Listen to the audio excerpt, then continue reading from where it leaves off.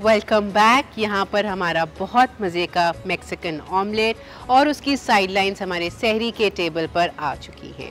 आपको मैंने वेरिएशन सारे बता दिए। साइड लाइन्स के आपके ऊपर डिपेंड करता है, आपके बच्चों के ऊपर, आपकी फैमिली के ऊपर, उनको क्या पसंद है, आप उस हिसाब से ये सारी चीज़ों को एडजस्ट कर सकते हैं।